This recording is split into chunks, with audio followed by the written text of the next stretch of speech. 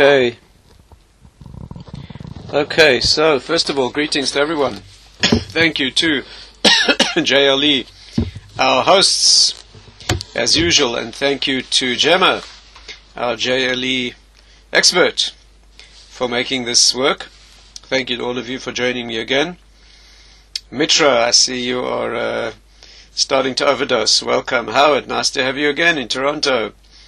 Avital, Batsheva, the brands. Nice to have the brands with us from South Africa. Phil and Lisa, welcome. Yechiel, nice to have you here. Avram, Dr. Avram in LA. you spend all day on Shiurim. Carolina in Tarzana, California. Zev, welcome. Anton, okay, forgive me if I don't greet everyone in detail. In, in particular, don't see everyone necessarily, but Greetings to everyone who's with me. Let me please remind you that um, I only see the people who are logged on through the JLE. So if you're watching this streaming,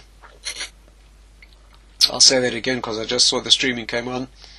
If you are watching this shiur on some other streaming platform, then I don't see you. So if you have a comment or a question, not comments, please, questions. If you have a question, uh, please feel free to email it to me through the JLE. Very happy to answer.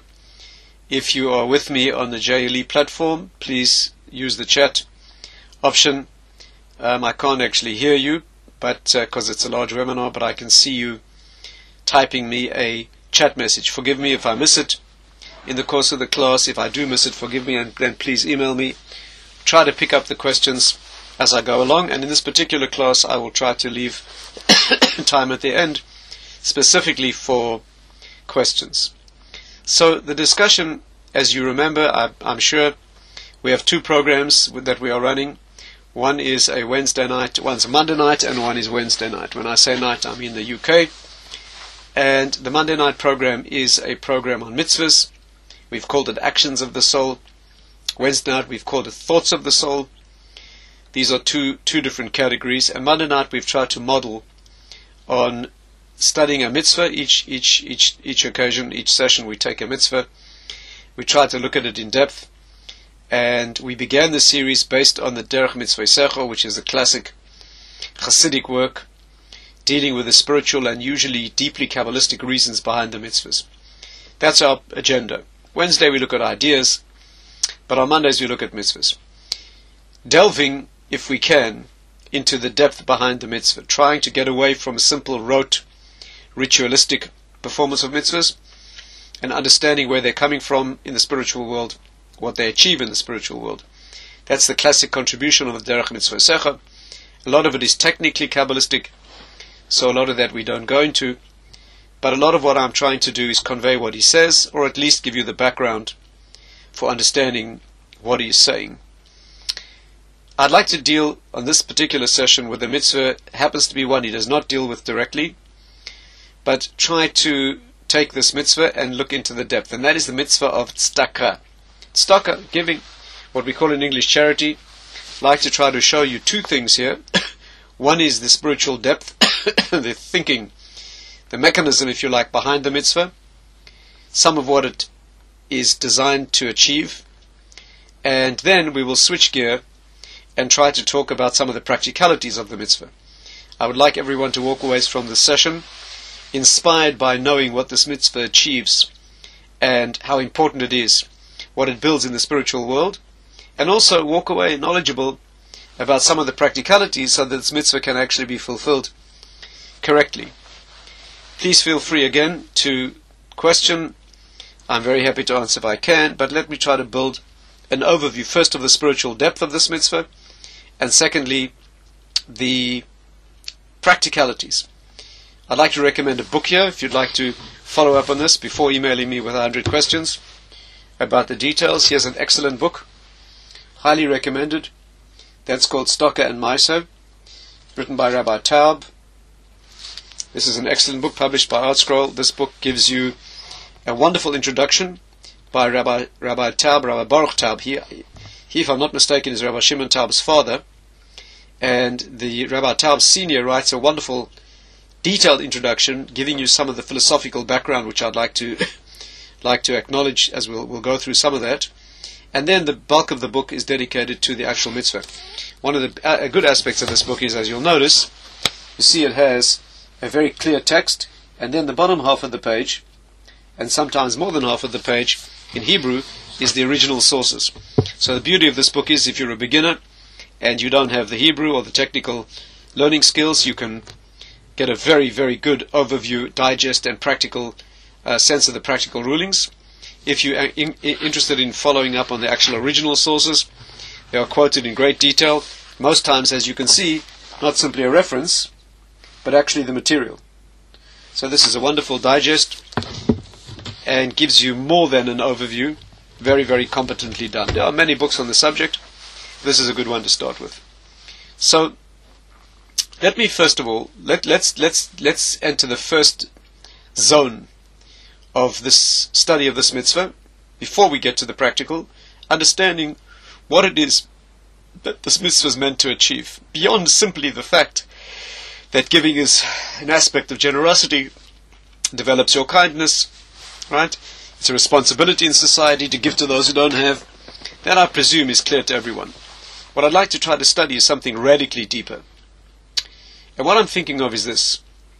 You know, when our lives are in the balance, namely Rosh Hashanah, Yom Kippur, right, a time when our lives are being judged, life for the coming year hangs in the balance. Something very interesting we say at the high point, or certainly one of the high points of the Rosh Hashanah Yom Kippur service in the Unesaneh Tokef, extremely emotionally tense, fraught part of the prayer said by prayer composed by a tortured and dying individual, very, very dramatic. And at the climax of that prayer, which focuses on life and death, who shall live, who shall die, we say Utfila, Tshuva, Tfila, and Tzedakah, Ma'avirin Esroya Hagzera. Remarkable statement. We say there are three things Tshuva, Tfila, and Tzedakah. Teshuvah, repentance, uh, uh, uh, prayer, tefillah, and tzedakah charity can convert or subvert a divine decree. Let's understand what's being said here. There are three things that are so powerful, or perhaps we should say so unique, that even if there's a divine decree, this is Rosh Hashanah after all, life and death is being decreed. Even if there's a decree for death, these three things can annul a deathly decree. They have to be immensely powerful to overturn a divine decree. Divine decrees are not made carelessly.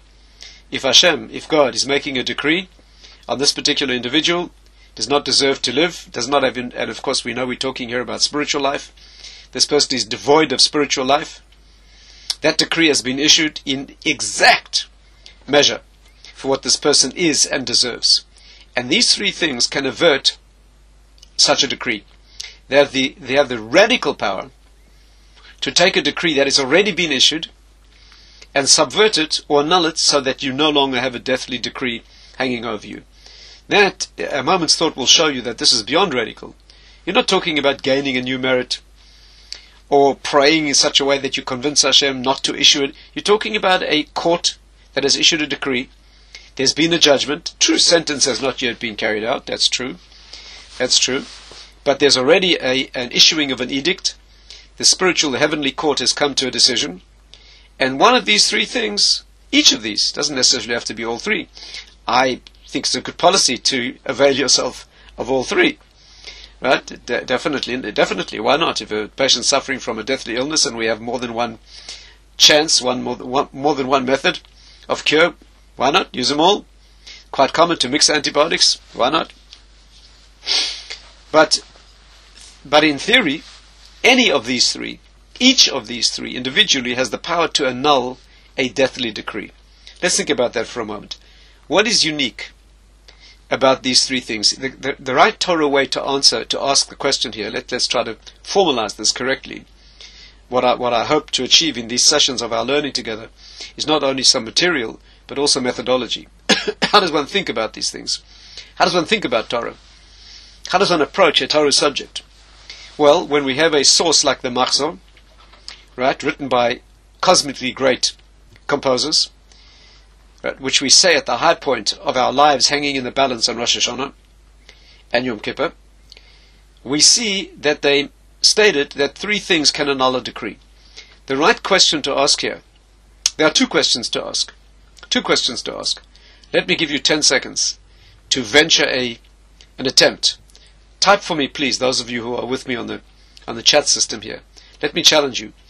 Type for me, please, two salient questions, and I'd like the right questions. What are the right questions here to ask when we are told that these three things can avert a deathly decree? There's a, there's a pair of questions that need to be asked here. I'm getting a few people each giving me one. I want somebody to give me both. No, no, no, no, no. Yeah, some people are asking me, how can God change a decree? Okay, we're not going to deal with that in this session. Well, I've got a long list of answers here, but no one's given me both. No one has given me both. No, all three are not necessary. Only one is necessary. No, no one? Can no one can no one tell me what the two questions are that needs to be asked here? No, no, no. I'm not asking about general questions about death decrees. I'm asking you when I tell you that there are three things that can annul a deathly decree. They are tefillah, tshuva, tshuva, tefillah, and tzedakah. There are two questions that come to mind that need to be asked together. Please help me. Help me. Come on, make my day. Why is everyone only giving me one one there are two questions that go hand in hand here. What must they be?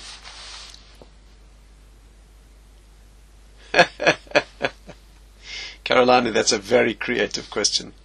Very creative question. Well, the two questions are these. The two obvious questions. And if you don't ask these two questions, right, you're not focusing on the, I believe, on the correct methodology. The two questions are, what about these three things has the power to change a deathly decree? After all, we're not offering four options, or five, or six, or twelve or 613, we're offering you three mitzvahs out of the Torah that can change a deathly decree. The first question to ask is, what is unique about these three things that has the power to avert a deathly decree that do not exist in other mitzvahs? Right? Why does sending away a mother bird not save your life? Why does keeping Shabbos not save your life in this particular fashion? Right? Why is visiting the sick not change your life in this particular fashion? Why not even saving a life? Or attending to your emunah, attachment to Hashem? Or burying the dead? I mean, there's so many things you could have said here. Why do these three things have the power to avert an evil decree? And secondly, what do these three things have in common? If there are three things that have the same function in the world, then surely one should ask what they have in common. Those are the, that's the logical set of two questions to ask. I'm sure everyone can see that. Right? Chazal, the sages tell you there are three things you need to do that avert an evil decree. The first thing that must strike you is what is different about these three and what is in common between all of these three. They must share a quality.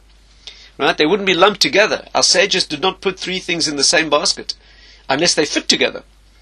Right? I, I'm laboring this point just to just to bring out the logical methodology here. Okay, and therefore the two logical questions are what is unique about these, and what do they share? And I believe in this case the answer will be the same to both of those questions. We'll see that all three of these have a unique shared characteristic, and that characteristic is the defining characteristic that is powerful enough and unique enough, specific enough to save your life. Before I before I move on, is, is this is this clear? Can everyone see that these indeed are the logical questions and the right ones to ask first? Give me a quick yes if you if you see the point, if you get the point. Yes, yes, yes, yes, yes. Okay, good, good, good, good, good, good, good. Okay, so we're training ourselves in a way to think. Let me tell you what these three have in common. Again, we don't have time, unfortunately, to work through all three. So what we'll do is I'll try to give a. I'll try to. Joel, nice to have you. Nice to see you here. Haven't seen you for a while. Um, I'll try to give you a very brief overview of two of them and emphasize the details of stock. Obviously, each one will take a full session. And yirtzeh Hashem, without promising, we will do in the future dedicate a session to each one of them. This session is dedicated to tzedakah. But as by way of introduction, I will talk a little bit about the other two, just enough, I hope, to show what they have in common, and then we'll use that principle to open up the world of Tzedakah, hopefully having understood what is special and unique and life-saving about it. What is unique? Let, let me say the principle first, and then try to take a step back and see it in action in each of the three. I'll say the principle in brief, what is unique about these three, why these three can change your life, and then try to prove it to you. What's unique about these three things is they change the definition of who you are. Carolina, you realize we're dealing with Hebrew here, right? Tefillah, Teshuvah, and, te, and Tzedakah. Okay? The English words are not really relevant here. Okay? It's a nice poetic suggestion you're making, but it's not valid in the original. So stay with me here, please. The um, these three things have, have, have, have as a unique character that they are intended to change who you are. And the reason, again, again, this is a radical suggestion. The reason that these three these three things change your basic nature. Indeed, that's exactly what I'm about to explain. So, so stay with me. I'm getting a lot of, I'm getting a lot of, uh, a lot of very interesting questions. A lot of interesting questions. Stay with me, please. Hold the questions for a moment. Let me try to give you a suggestion of a mechanism here. There'll be time for questions. These three things change who you are. Each of them, at root, is a self development, self transmutational exercise. And if you can change who you are, you avert a decree because the decree is no longer on the person you've become. I know this sounds radical, it even sounds perhaps like trickery, but we'll try to understand. If a decree is issued on a particular individual, and that individual becomes a different individual, it is quite possible, even probable, logical, that there's no decree on the new person. The decree was on, old, on the old person. If you change into a different person, there's no decree on the new person. By the way, this is the thinking behind changing the name of someone who's desperately ill. I'm not, I'm not saying it should be done. If at all, it should be done very rarely. But if it, if it is done, what's the thinking behind changing somebody's name? Because a name is a deep reflection, deep projection of what it is that you are. So somebody desperately ill, there's a decree on this person to die, it would appear. If we change their name, then we can be changing an aspect of who they are. And it's possible that there's no divine decree on the new person, that they've just been redefined as. Does it work? Is it correct? Should one do it? I'm not going into the changing of names now. Generally speaking, one should not change names. But I'm going, uh, what I'm getting at is, if you can change the definition, now we're not talking about some fake change, right? If there's a decree issued against you and you have a very slick professional plastic surgery, take a new name, get a new passport, right, and trying to evade the law that way, not only not only is the decree still operative against against you, there's probably a whole new set of laws that you'll have to pay for as well in evading justice. We're not talking about superficial plastic surgery, right? We're talking about a deep change. And here's the logic. If there, stay with me carefully, if there's a decree issued against an individual, which by divine justice is deserved, and you become someone else, the reason they no longer decree on this new individual is because the original decree was designed to change this person, transform them. The decree is always, always, punishment in Judaism is always a correction, whether we see it or not. There's no vindictive punishment. Punishment is a correction. No loving parent would punish a child vindictively. You punish a child creatively, constructively. So any cha- any punishment in Judaism is a correction. Well, if the de- punishment is designed to effect a correction, and you've just made that correction, you don't need the punishment. Alright? Again, we're not talking about a court of law where a punishment is ju- judicial and statutory. Once it's been issued, it must be done. The law requires that. We're not talking about that. We're talking about a parental type of punishment. If a parent is about to punish a child, to transform them into the child they should have been, an insensitive child, too much chutzpah, uh, some improper action against a teacher or disrespect for somebody, and the parent is depriving the child or putting them through a hardship. Why they're doing it? To correct the child. If the parent sees that the child is just corrected, and the child has become what their child ought to be, the parent will pull the punishment. No point punishing someone when the effect of the punishment has already taken place. Right? I'm sure you can see that. Again, I'm talking about a judicial system. There you can't know that the change is genuine. And therefore, if Hashem, if God has issued a punishment, a decree against a certain individual, and that's what's necessary for that individual, and the individual changes to the individual they should be, then the decree is no longer necessary. It's not trickery. On the contrary, you're preempting the purpose of the punishment. And therefore, what have we, what have we, what have we understood? Uh, Orion, I'm not going to deal with that question right now. The, the, the question Rosh Hashanah is a spiritual, spiritual sentence. Right? We're not talking whether the person will physically die that year or not. That's another issue. But hold the questions, please, for a moment, if you don't mind. Let's go through these and see how these work.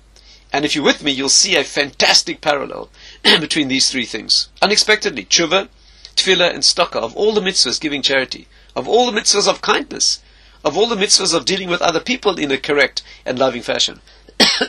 charity, tzedakah, yes, stay with me. And I hope you'll enjoy this little journey. First of all, what is tshuva? Let's start with tshuva. What is teshuvah? Repentance. Again, I wish there were time to go into the whole mitzvah fully. But here's in a nutshell, small nutshell. The mitzvah of tshuva is repentance. The word doesn't mean repentance. In English they call it repentance, which means remorse and regret. The word teshuvah means going back. It means return. It means going back to the pure, pristine version of yourself before you did spiritual damage. It's a return to the original self.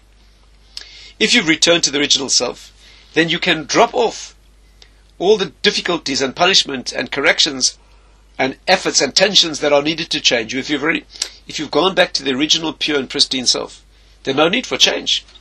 The reason tshuva can avert a punishment, again, I'm not talking about legal punishments. A court cannot know that a person's done tshuva correctly, and even if he's done tshuva, he might need certain sufferings or judicial executions as well. I'm talking here about the inner work. If tshuva changes you, to become the kind of person you should have been, the person you were before you made a mess, then the d- decree can be averted. After all, the decree was issued against a person who is soiled and sullied and guilty of certain certain serious spiritual punishments, uh, uh, spiritual infractions. If tshuva successfully corrects the person, then the punishment is no longer no longer needed. Let's let's just to get one deeper feel. What's the definition of valid tshuva? The Rambam says that the definition of valid tshuva is, listen to his measure. Beautiful way of illustrating this. The Rambam's measure in the second, the beginning of the second chapter of the laws of tshuva. The Rambam says, how do we know what is complete tshuva? What we call, what he calls tshuva gemura, complete tshuva, which means tshuva out of love, not just out of fear. Tshuva out of fear is simply you wouldn't do it again because you're too afraid. Tshuva out of love means even if you could do it again, you wouldn't. What is the measure of full tshuva, says the Rambam? Here's the measure. If that person would find themselves in the same place that they were in once before, with the same temptation, exactly the same temptation, and this time with no variables changed, the same passion, the same temptation, would desist from the sin, only because of the internal change they've gone through, that's tshuva. Do not misunderstand. This does not mean put yourself back in the same situation. That's a prohibition. Many people misread this Rambam. I've got to go find the same temptation, face it, and walk away from it. No, we don't walk into temptations. But he's giving you a spiritual measure. And the Rambam doesn't take any chances. He makes it totally graphic. He says, imagine a man who sinned with a woman, a woman who sinned with a man. And this individual, let's for argument's sake take the, the male component. This man sinned with a woman in a relationship. What's the measure of tshuva? If he would find himself again alone with the same woman, in the same situation, with the same temptations and the same passion, you the same perfume and the same sea breeze wafting in, you know. He doesn't say that, but he says the same exact situation. The Rambam makes it as graphic as it can be. And this time he desists from the sin because of spiritual consciousness that is called tshuva. Now, you may argue that it's impossible ever to be in exactly the same situation. Yes, that's probably true. That's one of the reasons why it's important to do tshuva as soon as possible. Right? It's written, for example, the Gemara says, do tshuva when you're young. Remember your creation, your creator in the days of your youth. King Solomon tells you it's worth doing tshuva when you're young. When you're young enough to still do the sin.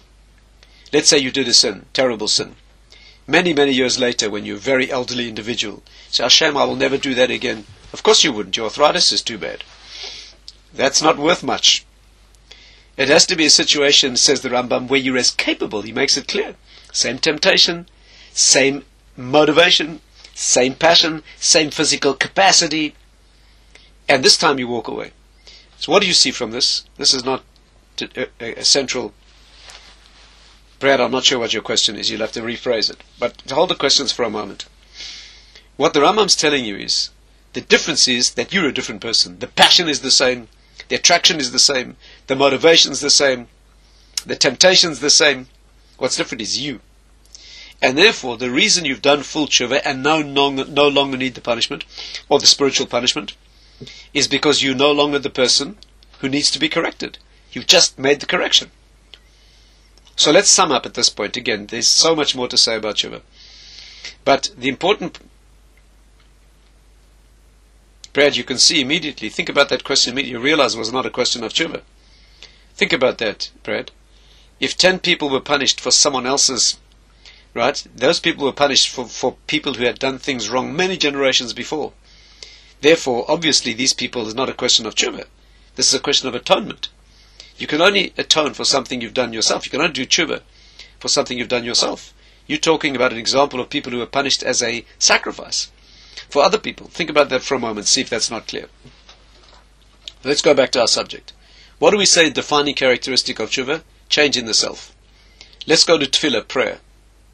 Let's go to prayer. Stay with me. Stay with me. What is prayer meant to do?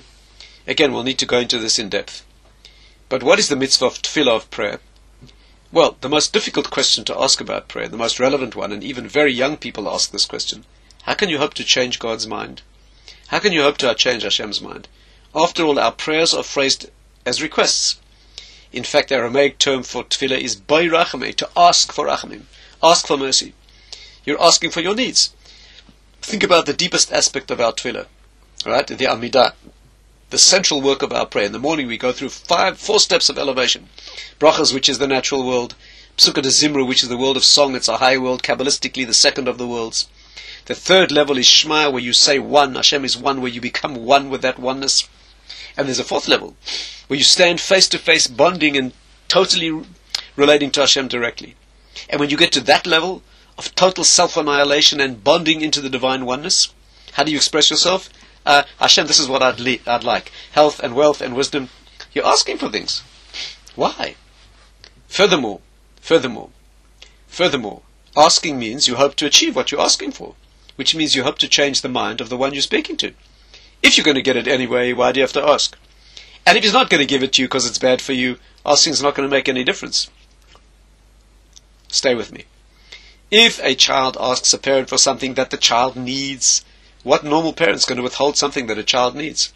Child needs food. The mother's going to starve them, starve the child unless they beg? No. They're going to give them the food. And if the child asks the mother for something dangerous, right, like a six-year-old boy asks his father for a flamethrower, or an army surplus bazooka, right, or a friendly crocodile, whatever the kids ask for, the father's going to say no. Ten year old boy wants an electric drill. The father's going to say no, the kid's going to drill a hole in the cat. And therefore, if you ask Hashem for something that's dangerous for you, bad for you, He's not going to give it to you. And if you're asking for something that you need anyway, what loving father is going to withhold it? But on a deeper level, if you ask for it and He gives it to you, you just performed a miracle. You just changed God's mind. How does that work? And there are many, many other questions about tefillah. Many questions, and we'll study it in Mitzvah Hashem in depth. But let's just take that question. How do you hope to change God's mind? And the answer is according to the Baal HaIkarim. Again, there are many, many answers to this. But the one I want to focus on for now, Rav Yosef Albo, the Baal HaIkarim, he says, the point of tefillah, of prayer, is not to change God, it's to change you. If you change you, you can get what you're asking for, because the new person you've become could well use that thing. If this child, this teenager, this young person wants power tools, and he's too immature to handle the power tools. He wants a powerful vehicle. He's too immature to use the vehicle. The answer is no, because he can't use it. But when he's mature enough, the answer is yes. Not because you changed the one you asked, but you changed the one who's asking. When the child wants power tools, the young man wants power tools, and is mature enough to use the power tools, the answer is yes. Not because you convinced the giver, but because you demonstrated to the giver that you're no longer the immature person you were before. If you say to Hashem, you say to God, God, I need a hundred thousand pounds. Right? And God says, no, that will make you overconfident and, and, and um, egotistical. And then you use your prayer, you work on what you're asking for, you sublimate your desires. You come to want them for the right reason, not for the wrong reason. Of course you're working on desires. You're asking for what you want. You're not, you're not nullifying your desires. You're sublimating, you're elevating, transmuting your desires. So you want them for the right reason, like Nefesh HaChaim says. The reason Hashem can now give you what you ask for is because you become a new person who can use them correctly. And therefore you can achieve what you want. So we see that the essence of prayer is changing the self. Interesting. What have we learned so far? We've learned that tshuva changes you radically to the point that it could save your life because there's no decree issued on the new person you've just been born as. Tefillah could save your life. Not because you begged for your life to be saved. That's useless. Uh, if it doesn't change you in any way. But if tefillah changes who you are, you want in a new way. Instead of wanting health and wealth and wisdom to enjoy, you want health and wealth and wisdom to enjoy using them to do your work in the world. Then, of course, if you if you stand in front of your boss's desk and you say, "Yeah, boss, this is what I'd like. Right? I'd like a, a much bigger expense account. I want to stay in the best hotels and drive the best vehicles." And the boss is going to say, "Why do you want that?" If you say, "Well, I want to live it up on the company expense," it's going to throw you out. But if you say, boss, if you give me these tools, I'll bring back bigger deals for the company, of course he'll say yes. Why not? Unlimited yes. If you ask for a bigger expense account, but with a bigger expense account, you're going to wine and dine bigger clients, and you're going to bring home bigger deals for the company. Sky's the limit. Hashem uh, said, open your mouth and I'll fill it. Harchev picha, open your mouth and I'll fill it. Ask me for more. The more you ask for, the better uh, if you bring home the deals. Now, of course, in the course of bringing home the deals, you can enjoy the stuff as well. If you're whining and dying your clients in the most lavish fashion in order to bring home big deals and you're enjoying it thoroughly, that's wonderful. No problem with that. Your boss doesn't mind. And therefore, and therefore, if you come to want correctly, you change your dispensation. You're about to be fired because you're not bringing home deals. And you ask for a big expense account in such a way that you want the expenses to bring home the deals. You just renewed your contract. Instead of being fired, dying, you achieved life. Okay. So far, so good. Before we move to the third one, did I convince you that's what's unique about these two mitzvahs? In essence, tshuva and tefillah, they are both direct works on changing the self. Every mitzvah changes you. Every mitzvah changes you, changes an aspect of your being.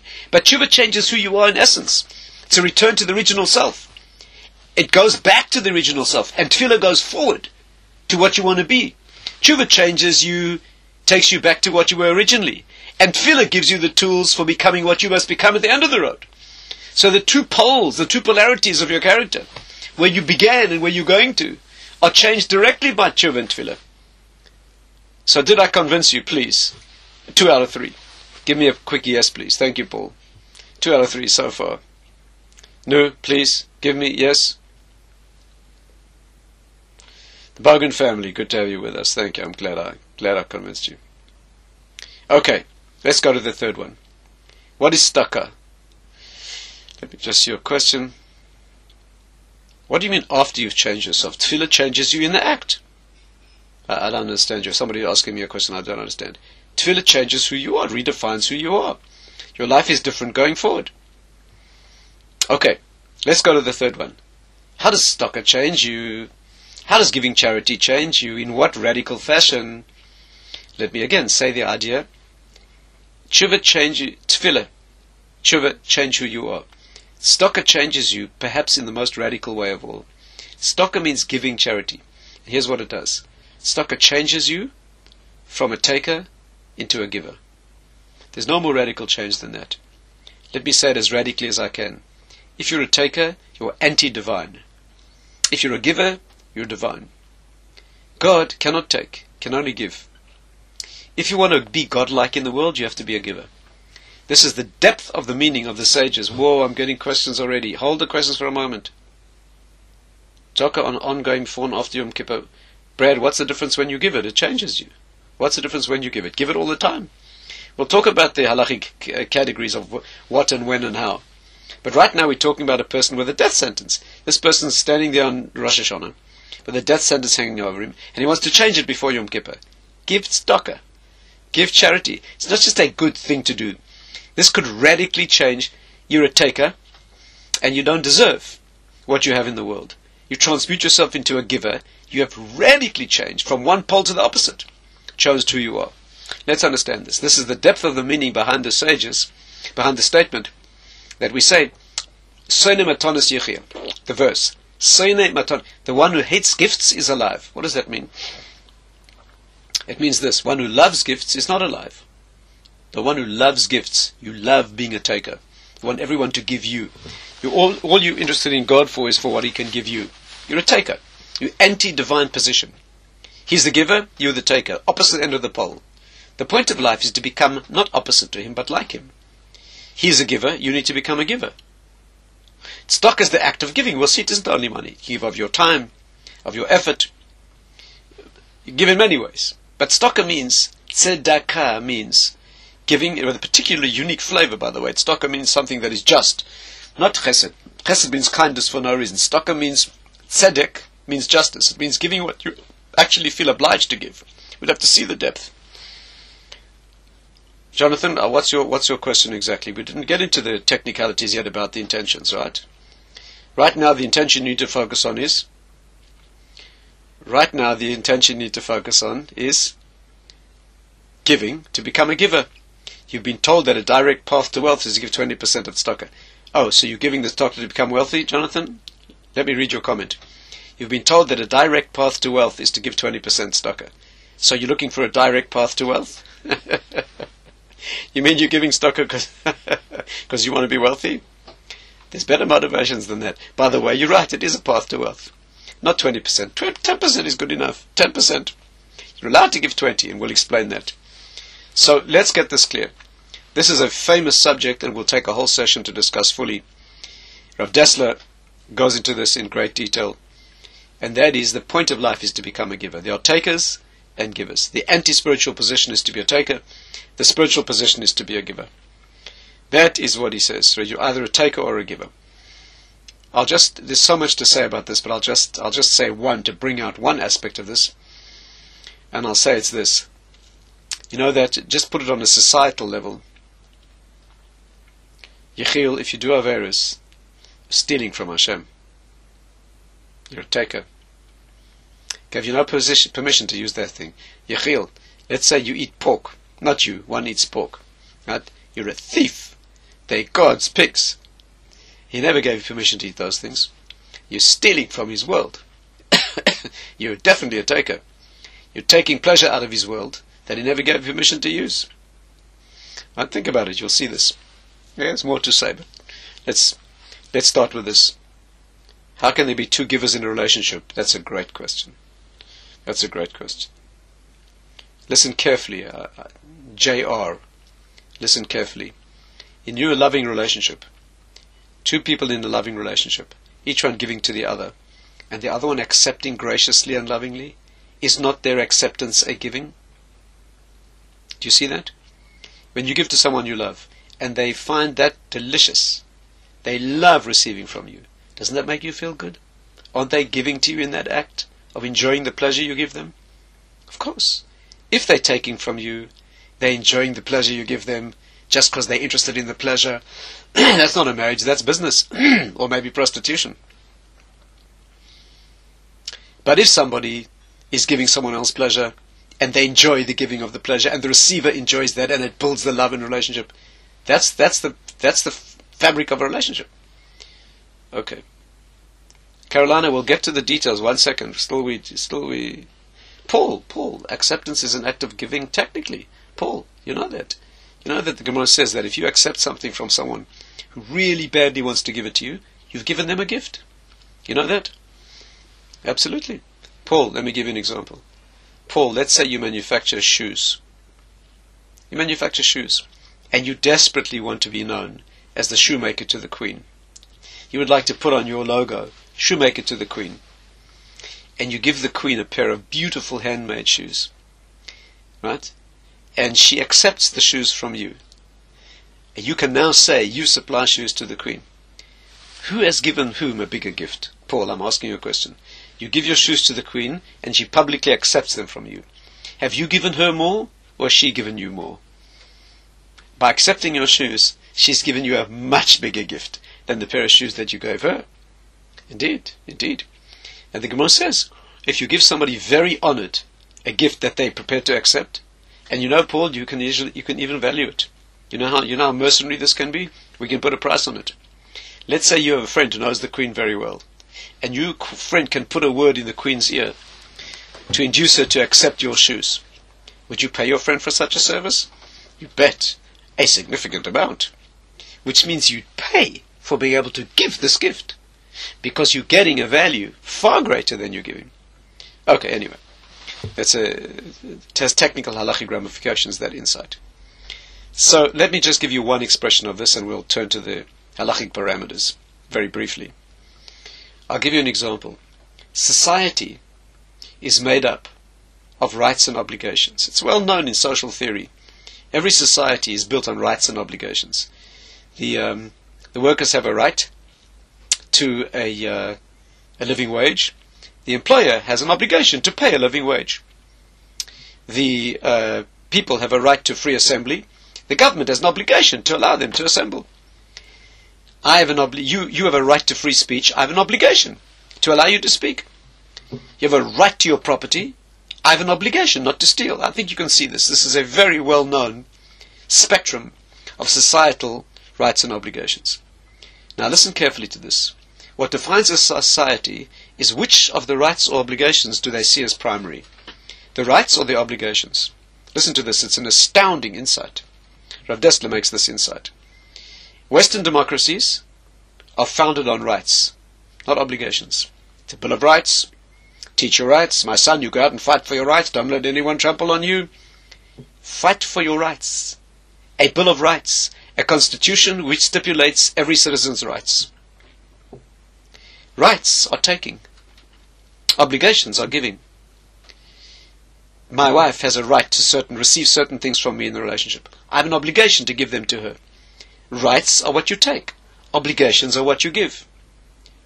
In a society that's built on rights, you're training people to be takers. In Judaism, in our constitution, rights are never mentioned.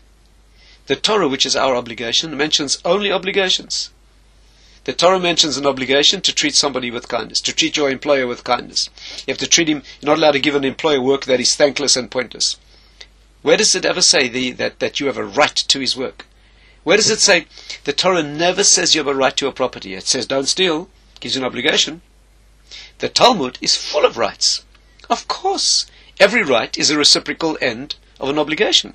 But our constitution mentions only the obligations.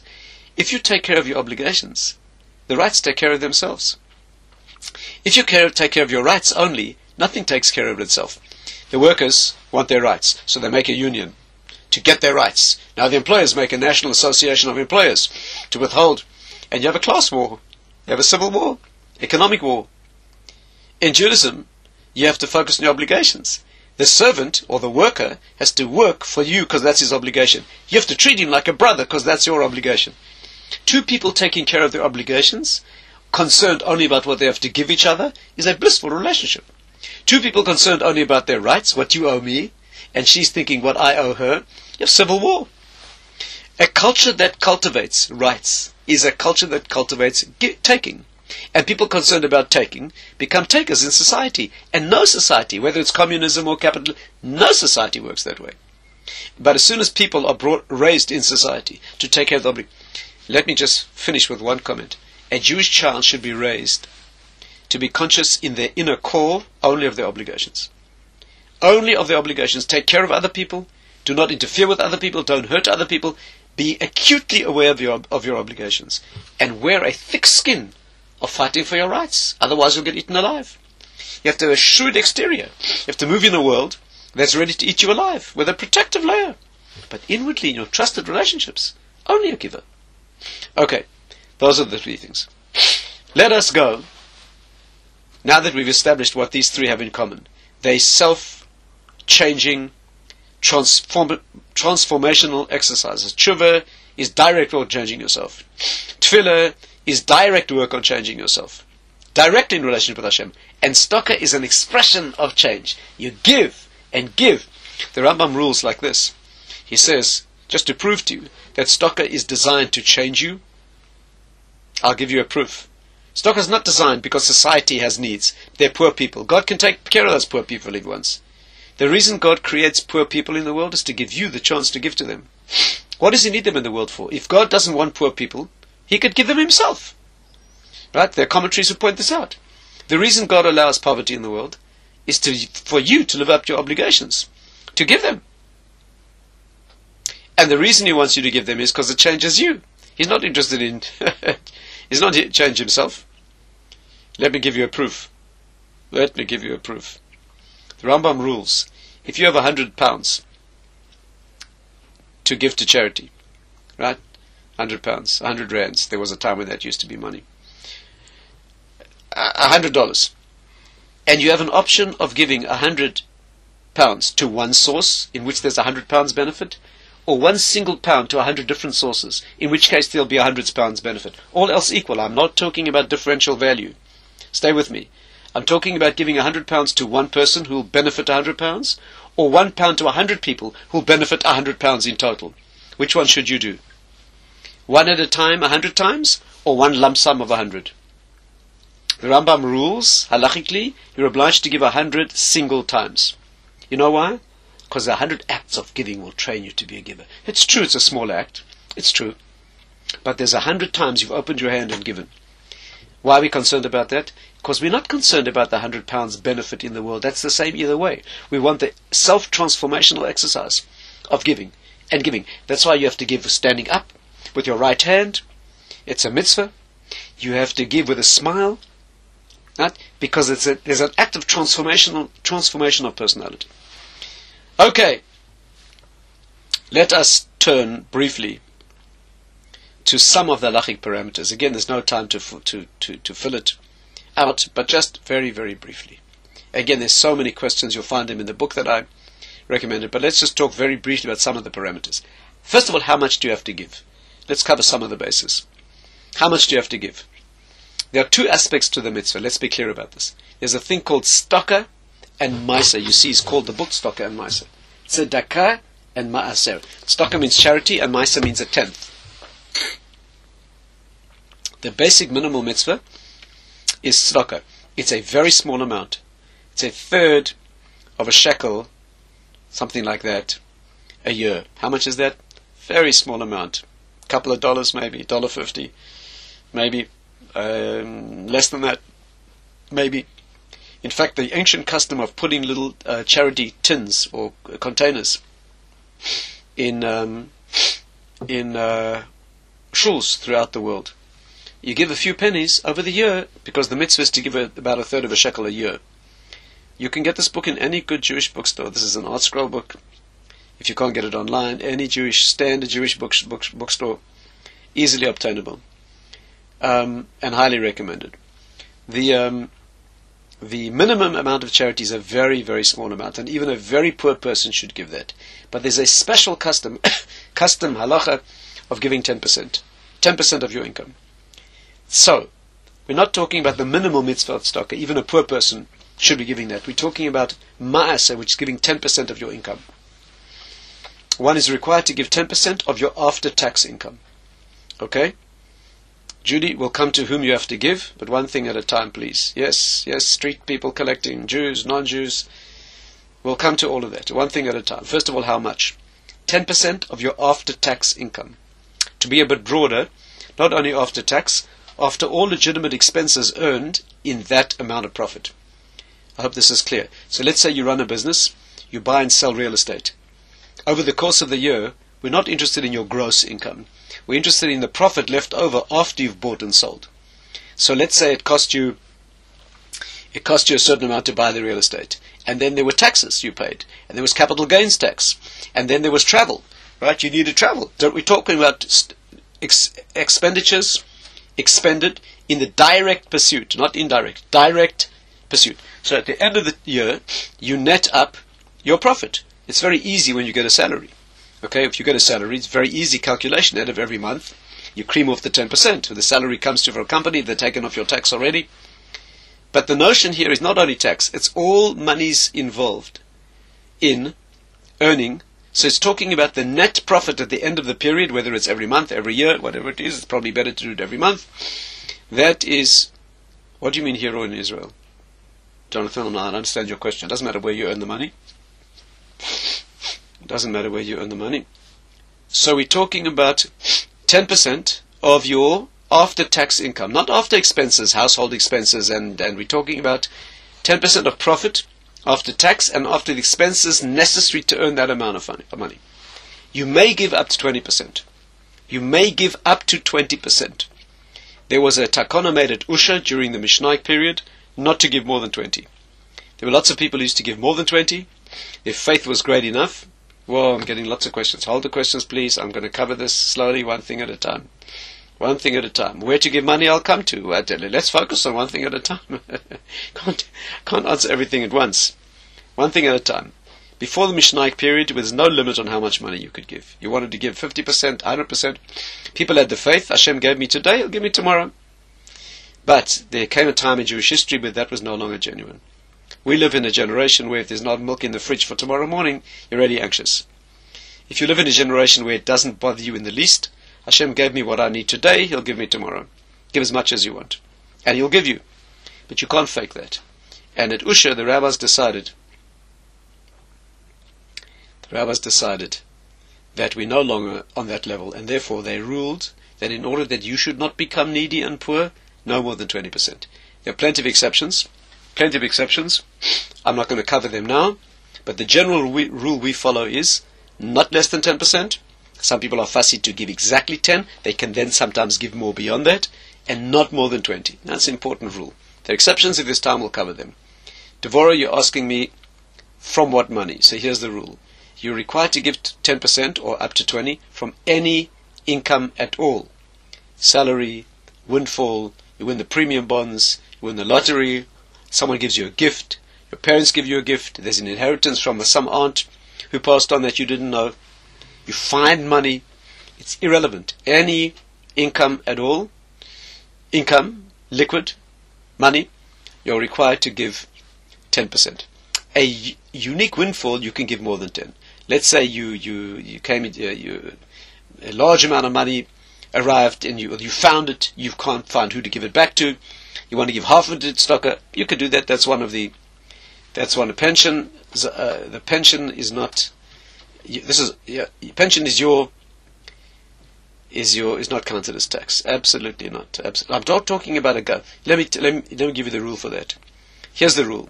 Let's say somebody gives you something that is not money. Example: You work for a company and they pay for your health insurance, or they put money away in a pension for you. Okay, or they buy you, uh, you know, uh, some investment, pension, for example. Here's the rule. Listen carefully. If that money that they're putting away for you is something you would have had to spend anyway, it's counted as income. So let's say you live in a country where it's accepted and normal to buy health insurance, and you definitely would have that obligation. The company happens to add to your salary health insurance as well. That's income. That's income because they saved you that expense. But let's say they, they buy something that you never would have done. You have your own health insurance and they put more into it. Right? They put away money for you that you would not normally have done. That's not, that's not, right? It's only stuff where they save you. Another example. Let's say your father arrives one day and he says, mm, in this house I think you need a new, uh, you need a new, you need something new for your house and he gives you something expensive for your home. You're not required to take 10% of the value of what he gave you and give it to charity, unless he saved you the expense. So let's say, let's say you need a new refrigerator. Okay? Your refrigerator is not working, you need a new one. Your father arrives one day and he says, I see you need a new fridge, here it is. Yes, the couple hundred dollars that he spent on the fridge is income to you because he saved you the expense. You were going to buy it anyway. He saved you that cost. You give 20 dollars of that. If he buys you a new one because he wants to, it was not an expense. You were going to something additional. He says, you know what? I think you need two refrigerators, and he gives you another one. No, you don't have to give charity from that. Right? I hope this is clear. Um, so, of which income you are required to give. Let's talk briefly about a man and a woman. Man and a woman. Married couple. So if the man, let's say for argument's sake, it's a family where the man earns and works and the mother does not earn at all. Her job is homemaking, she doesn't earn. She may not give charity. She may not give charity unless it's an amount that he's agreed to as well. Again, he's earning the money. She has no right to give it away unless she knows that he agrees to that amount or small amounts. If you if a woman gives a large amount of charity, telling you that her husband agrees to this, that's fine. if she's earning, then of course she can, and then she's obliged to. So if she earns independently, she must give 10% of what she earns. An unmarried woman has exactly the same obligations as a as a married woman. Again, an unmarried woman has all the same obligations as a man. She's independently earning. But a partnership, when husband and wife are married together, depends who's doing the earning. Okay, so if one of them is earning, for argument's sake, the man, she can only give what they've agreed to give together. Okay, unless it's small amounts that he certainly would agree to. Um, so the, that now, now, now, to what should you give? To what should you give? Oh, by the way, by the way, you can also give your service. Let's say you are a an accountant, and you do what they call pro bono or pro deo work. So you do the accounts of a local orphanage, okay, and you don't charge them. You can consider the time you spent as tzedakah, namely what you could have billed.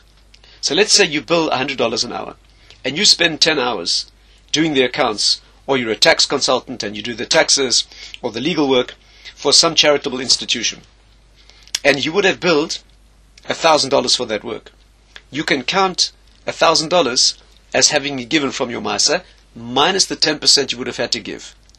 So you can count $900. I hope this is clear. Let's say you're a tailor and you, a young man's getting married and he can't afford any of his needs. So you make him a suit. You make him a suit. Now the suit you give him is not money, but it's maaser. For example, let's say you give him a suit and this is a suit that you normally sell for $200 profit. You sell it for 300 and you make $200 profit on the suit. So now you've given this young man a suit, you can count $200 as having been given of your maaser money. You didn't give money, but you gave your professional, right? You could legitimately have billed for that. So you gave away $200 of income minus the 10% that you would have had to give anyway. So $180 you can count as tzedakah money, right? I hope this is, I hope this is clear. Um, earnings, by the way, from a investments. For example, let's say you buy and you deal in real estate. Your own personal home is not like that. That's not that's not the same. Let's say you buy a home, and many years later, 20 years later, you sell it for much much more than you bought it for. You don't have to give maaser from the profit if a new home these days costs that much. Again, you made a lot more money than you paid 20 years ago, but it's still only enough to buy an equivalent home nowadays. Okay? However, if you're buying and selling real estate as a business, then of course it has to be done from your from your um, what do you mean can you give clothes? You can only give clothes that have of genuine value or clothes that you would have sold at a certain at a certain cost minus the 10%. Who should you give to? Okay. It's very important to know that when it comes to giving tzedakah, you have your own choice. It's a very personal issue. You need to give to valid causes. Now we're not talking about anti-Israel terrorist organizations. We're talking about uh, organizations or institutions that are valid from a Jewish point of view. You're also required to give to non-Jewish causes. Very important in society. It should be done publicly and openly. But um, you are required to give to valid sources. You should diversify your giving. Ordinarily, under most circumstances, not more than 50% of your charitable donations to one place. Your parents come first. There's a hierarchy. First parents, then someone who taught you Torah for free, then your grandparents, then uncles and aunts, and then cousins, an ex-spouse, an ex-wife, even though, and there should be no relationship between divorced people in Judaism as far as possible, yet it's still a mitzvah to give to an ex-spouse if she needs it before a stranger. Friends come before strangers. Neighbors come before strangers. People living in your city come before people in another city. In Judaism, there are devolving hierarchical concentric layers of responsibility. So someone living in your city comes before people in another city except Jerusalem. Yerushalayim, nominally, notionally, we all live there. So you can prioritize causes in, Jer- causes in Jerusalem equal to those in your city, After Jerusalem, any place in Israel. Some say they're equivalent, some say not quite. Shlomo Avram, you're not allowed to give anything to anybody that will harm him. talking about a smoker. You're not allowed to give him cigarettes. You can't give money to a drug addict if he's going to go buy drugs. Shlomo Avram, somebody knocks on your door. Please give me a cigarette. Completely forbidden. Completely forbidden. Give me a drugs. Alcohol to an alcoholic. Completely forbidden. Can you give money to an alcoholic or a drug addict? Depends if you think he's going to go. If you think he may buy drugs and harm himself, give him a sandwich. Give him food. Buy him a meal. Okay, use your head. Okay, children, interesting. Little children are your obligation. Older children are tzedakah. That means once they're ready beyond the age where you need to support them as part of your mitzvah of raising children, then it becomes already tzedakah, and children come before strangers. Are children allowed to give tzedakah from the money they receive from their parents? A student may not give money, may not give charity from what they receive from their parents, if that will require the parents to give them more. If the parent says, look, I don't mind if you give the charity, I want you to do that, it's good for you, and it's fine, that's fine. But if you are taking money from a parent while you're a student, and now you give 10% away of that, thinking you're being very religious, now your father needs to give you more, you have no right to give that money away. If you can give it away and live more frugally, without your parents having to give you more, that's fine. That's fine. Um, Sam, what do you think about that? You're going to give a gambling addict money that he's going to misuse and harm himself. You you answer that question. Right? I'm sure is borrowed money considered income? Absolutely not. Absolutely not. And not only that. Borrowed money you need to pay back before you give charity. You give small amounts to charity. How much should you give to any individual? You shouldn't turn anyone away. Anyone. Teenagers need to give tzedakah from babysitting money. Absolutely, Alan. Absolutely, indeed. Doesn't matter what they earned it from. They can earn it from their horse racing uh, uh, bets, or they can earn it from their from their internet sales, or they can from their babysitting money. Absolutely. By the way, children from age six or so, little kids should be trained to give away some of the money that they get given as gifts because it's important educationally. Your 21, 21 year old give him or a huge gift stock and goes for your master. No, Paul. If you give a child a large gift, let, let, let me make this clear. You can only count charity money when you gave it to a needy cause. When you give someone a big gift, you have a 21 year old child, you give them a very lavish gift. That's not called tzedakah, it has to be to a person who needs it. Now, there's a long discussion about who, who really is a person who needs. So the general concept of somebody who needs is they don't have enough money to subsist, to exist. Or a person who does, but they have a pressing need right now. So they have enough money to to get by on, but now they're marrying a child and they need to make a wedding. They can afford their normal expenses, but they can't afford the wedding. You can give them charity for that. Absolutely. Or their massive medical expense. You should not turn away anyone empty handed.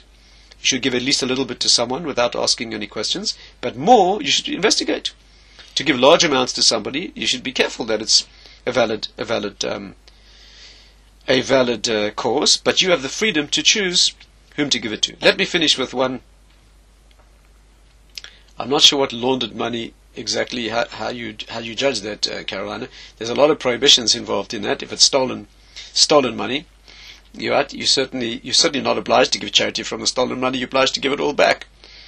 Beggars in the street, why not? Why not? Indeed, you should you give small amounts to people. Here's the rule: when a person goes to many people, you're required to give them small amounts. So, so again, somebody goes from door to door, you should give them, but a small amount because they collected from many people. When a person does not collect from many people, they come to you personally, they're embarrassed. They can't admit that they need. They can't go to other people. Then you have an obligation to give more if it's a valid cause. Ms. Shapiro, every solicitation letter, it's a very good middah to do that. You know what we do in England is people in England have little um, tear off sheets, small small amounts. In England, I'm not sure how it works in America, but in England, you can go to a charitable organization and give them a donation, and they sell you for that donation small, let's say 50 cent or $1 um, tokens or uh, vouchers. So it's very easy when a solicitation letter comes, you can put in a small amount in every letter and send it back. It's a very nice thing to do. Aggressive beggars, you know, whether he's aggressive or not is irrelevant. He may be a person who's aggressive and he's a person who's, you know, who's got problems. The problems you should give him in a kindly, kindly fashion. It's not you to, not for you to take offence at his personality problems and difficulties. Um, Tzedakah you give incorporated in your maaser. Stock incorporated in your maaser. Ellie, I'm not sure what you mean. Stock and maaser is one. Yes, yes. You all, again, if you give your 10%, you've inc- inc- inc- you certainly covered your, you've certainly covered your, um, your stock as well. Um, one final point. The Gemara says it's disgraceful to support your parents out of your charity money. Let me say that again. Let's say you're a wealthy, comfortable individual, and you have enough money to support your parents who need to be supported. That should be your privilege and your pleasure. And then over and above that, you give 10% of your income to charity as well. You should not use your charity money to support your parents. That is disgraceful. Unless you can't afford it. If all you can afford, you can, you can just exist on a certain amount, having given 10%, then all of that goes to your parents, not 50%. Then it should all go to your parents. They come far ahead of any other obligation. But if you can afford to support your parents, and yet on top of that give tzedakah, it's disgraceful to get away with your tzedakah money giving it to your parents. It should be your privilege and your honor. Okay, we run out of time. Howard, you have vouchers in Canada, great. Should you give tzedakah every day? No, there's no specific mitzvah to do that. It's a great thing to do the mitzvah whenever you can. But you should do it routinely. Because if you start doing it at irregular intervals, it, it, it no longer remains clear how much money has accrued during that time.